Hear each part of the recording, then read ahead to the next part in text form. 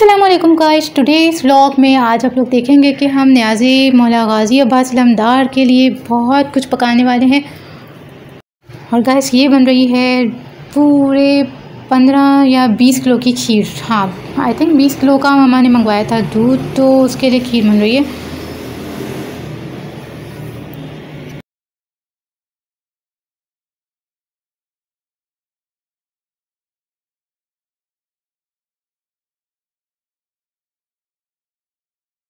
और यार ये खीर जो है ना मतलब बहुत ही लंबा टाइम ले लेती है यार तो उसको घोटना तो जो काम है वो हम बच्चे करते हैं मतलब I am not a kid लेकिन करते हैं भैया करते हैं करना पड़ रहा है। ये वो थक चुके हैं और इस खीर को बनाने में मतलब ज़ाहिर सी बात हाथों की जो बैंड बच जाती है लास्ट खीर को कितनी देर हो गई? छः घंटे पूरी छः घंटे जस्ट इमेजिन गाइस छः घंटे छः घंटे। और गाइस इसके साथ साथ मैं आपको बताऊँ, अभी मुझे ना ड्राई फ्रूट्स जो दिए गए हैं, उनको भी चॉप करना है। तो ये भिगो के रखे थे ड्राई फ्रूट्स और इनको भी मुझे चॉप करना है। तो जल्दी जल्दी से चॉप करके फिर हम सोएँगे। और ये खीर बिल्कुल रेडी हो चुकी है, तकरीबन तकरीबन बट मम्मा कह रही थोड़ा और गोटो तो मैं तो काट रही हूँ। ड्राई नट्स कट चुके हैं। यार ने पहला वाला वो जो बॉल है ना, उसको पहले खुद ही डेकोरेट कर दिया देखो गाइस मैंने कहा भी था मुझे वीडियो बनानी है।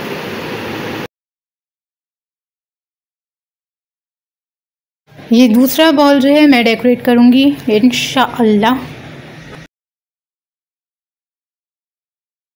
और भाई ये हो गया है पहला वाला। डेकोरेट मतलब एक मम्मा ने कर दिया, एक मैं कर रही हूँ। और इसके अलावा मैं एक और करूँगी, क्योंकि जल्दी जल्दी काम फिनिश करना है। इसके अलावा और भी बहुत बहुत बहुत कुछ पकाना है गाइस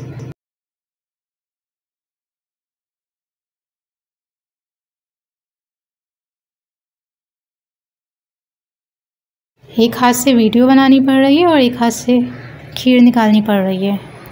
पक्का यार, मैं जब मतलब चैनल मोनिटाइज होते ही मैं कैमरामैन हायर करने वाली हूँ।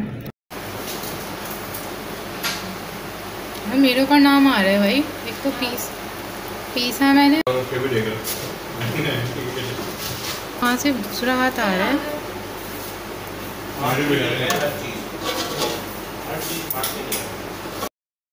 और ये ना मुझे गार्निशिंग करते हुए अकेले मम्मा से देखा नहीं जा रहा और वो बीच बीच में मेरी गार्निशिंग में ना थोड़े थोड़े से नट्स स्प्रिंकल करे जा रही हैं। और ये उनका दूसरा हाथ आया जा रहा है बीच में। खीर डन हो गई है और अब सुबह मिलते हैं गाइस और ये सुबह हो चुकी है और मम्मा ने गर्मा गर्म सा हलवा मेरे उठने से पहले ही रेडी कर लिया। इसकी मैं रेसिपी नहीं बना पाई यार शूट मैन चलो गाइस कोई ना, ये बेसन और सूजी का हलवा है तो मैं आप लोग को ज़रूर सिखाऊँगी।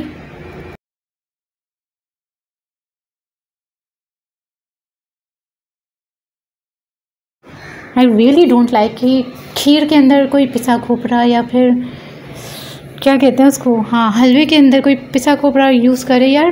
पिसा खोपरा पिसा खोपरा। और ये सेवेंटी प्लस सेवेंटी प्लेट्स आ चुकी हैं, इसके अलावा स्पून्स और सब कुछ है डेकोरेशन का, जो मुझे वॉश करना है।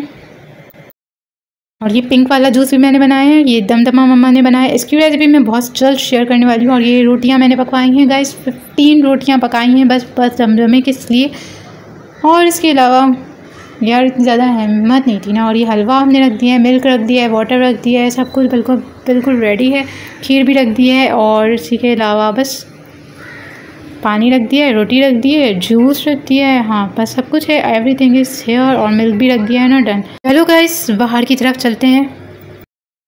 और ये छोटे छोटे से बच्चे चिकन हलीम बना रहे हैं बाहर बैठे हुए और इसके अलावा बिरयानी की, देख, उसका सीन तो भैया मैं दिखा भी नहीं सकती, ना मैं बना सकती हूँ, क्योंकि वो बहुत लंबा कहानी हो जाएगी यार।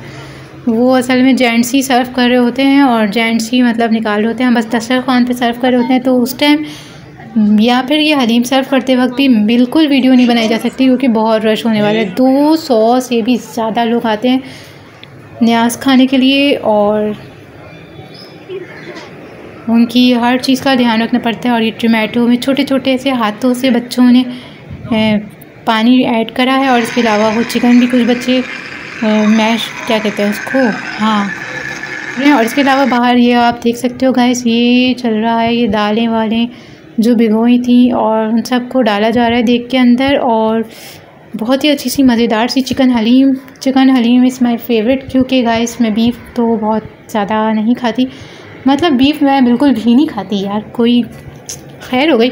हाँ तो ये बताना ज़रूरी नहीं था। खैर एनीवाइज का एनीवेज गाइस यहाँ पे